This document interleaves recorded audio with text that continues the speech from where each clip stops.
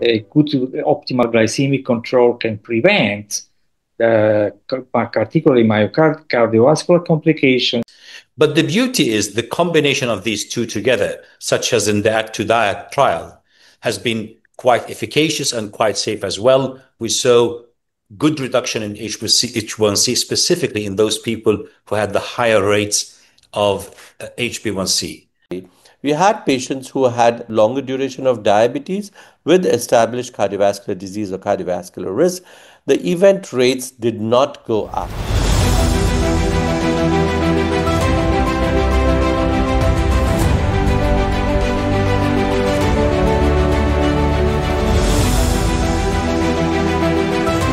So we are here to briefly summarize the second episode of uh, Act 2 program, which was focused on the use of sulfonylureas management of diabetes, but also touching two important uh, topics like the difference between sulfonylureas and the safety of sulfonylureas. So let's start with the first uh, presenter, Dr. Uh, uh, uh, Mohamed Hassanein, which was speaking about the use of sulfonylureas in management of diabetes.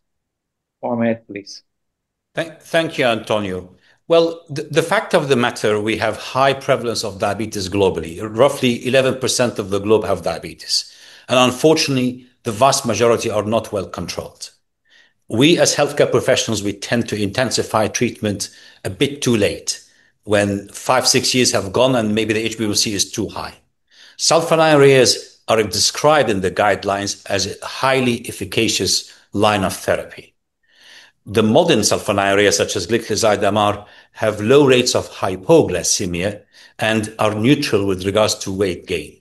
So all the concerns of healthcare professionals of the inertia of I'm concerned about the weight of my patient or the hypoglycemia are probably um, not too much of a concern when it comes to gliclazide MR. Cost effectiveness is also very important because 80% of the globe live in low or middle income countries. Now, we focus sometimes on the cardiorenal protection, specifically of SGLT2 inhibitors. But the beauty is the combination of these two together, such as in the ACT2DIET trial, has been quite efficacious and quite safe as well. We saw good reduction in H1C, specifically in those people who had the higher rates of HbA1c. Uh, so I personally feel that we need to act quickly. We need to intensify the treatment timely and to think significantly of sulfonylurea, specifically the modern sulfonylurea such as gliclazide MR, because of their power of lowering HbA1c in a safe manner with minimal hypoglycemia. So you already introduced uh, one important topic, which was covered by myself, if all the sulfonylureas are equal. And uh, we have to remember that one of the most irrelevant side effects of sulfonylureas is the risk of hypoglycemia. Hypoglycemia can be itself a risk factor for cardiovascular disease, and of course, is a very, very bad experience, and also uh, leading to a premature uh, dementia. So it's very important to avoid uh, these situations. And many, many evidence. The GUIDE study, the um, let's say the study coming even from the advance, particularly when you compare advance with the other two studies performed, like ACCORD, the VADT, to show how the um, a good optimal glycemic control can prevent the, particularly myocardial cardiovascular complications in people with diabetes, but with long duration of diabetes, you know that we're failing.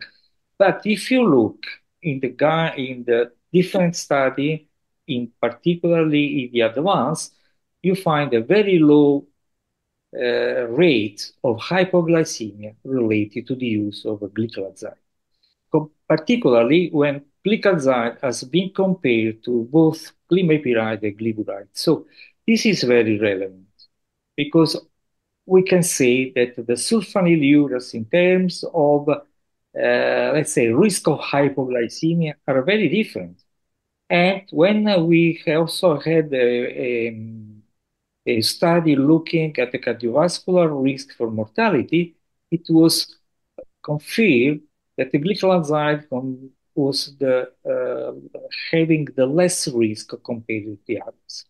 So we can be really reassured that the use of uh, uh, the gliclazide is uh, related to a low risk of hypoglycemia, particularly compared with the, the other uh, sulfonylureas. And now about the safety of sulfonylureas, we will have more deep explanation from Sanjay. Please. Thank you very much, Antonio. Uh, it's important that we should have the confidence in using sulfonylurea. Given the era today where guidelines are focusing more on newer antihyperglycemic agents which change outcomes, are sulfonylurea still relevant today in clinical practice is a key question. Now, often it is referred that there is a higher rate of hypoglycemia that we tend to get with sulfonylureas. Uh, people do talk about cardiovascular safety with sulfonylureas.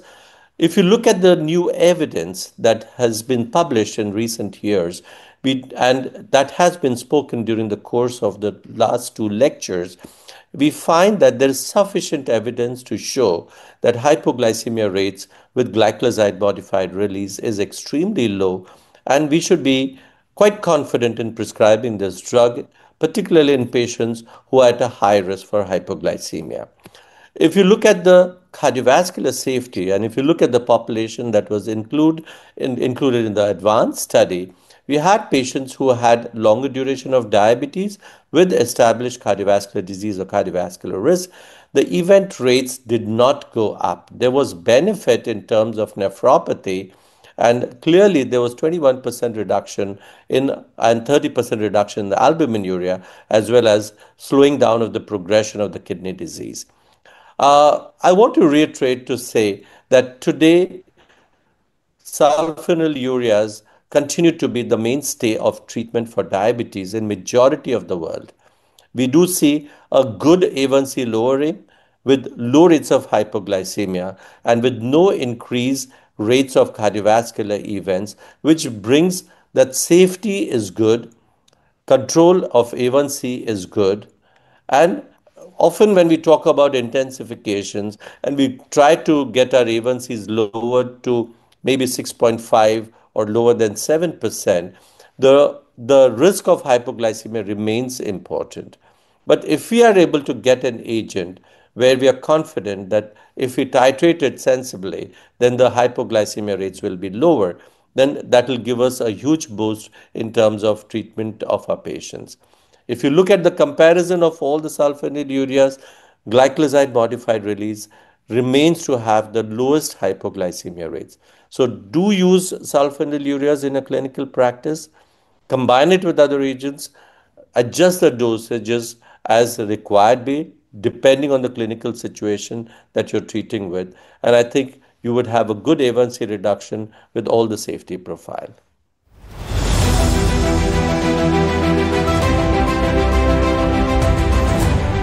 Thank you again also to you. And now let's conclude this second episode, this second step of our journey in the to understand the role of uh, sulfonylureas today in diabetes management, I think was very useful to reassure about the safety of sulfonylureas in the management of diabetes, and also that there is a huge difference between the, the different sulfonylureas. So thank you everybody for joining us, and uh, let's uh, meet again in the third episode of this uh, project.